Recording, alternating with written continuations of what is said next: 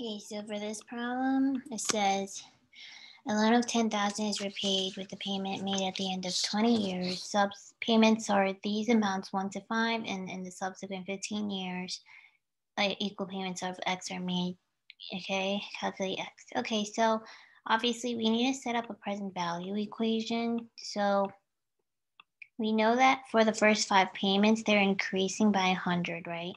For five years. So we're going to use the level annuity formula for five years at 5% effective uh, plus X of 15 years level payments at 5% discounted back 5% to make up for the years that are occurring here.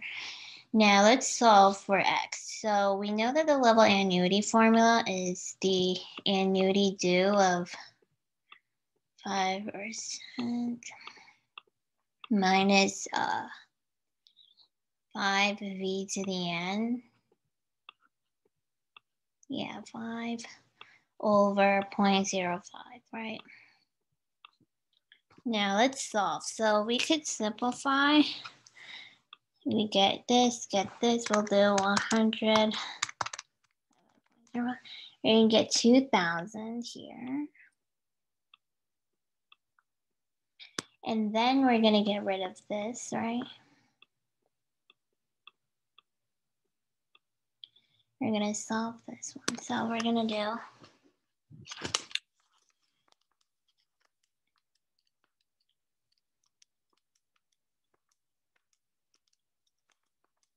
It's gonna be 4.33 times 1.05. It's gonna be, so it's gonna be 454.65 minus five times negative five. Okay, it's gonna be 0.628 times the 2000 Give me 1257.73.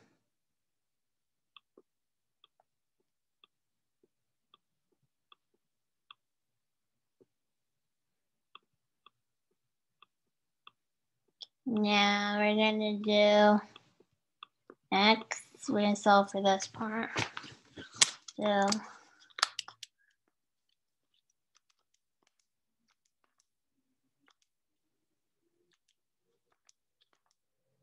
10.38.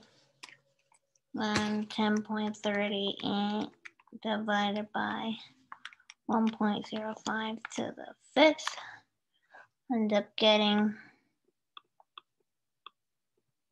right, and then I move this to the other side. We'll do 10,000 minus 1257.738. Now we're going to divide that by 8.133. And then we'll end up getting 1074.91 as the answer, which is closest to E.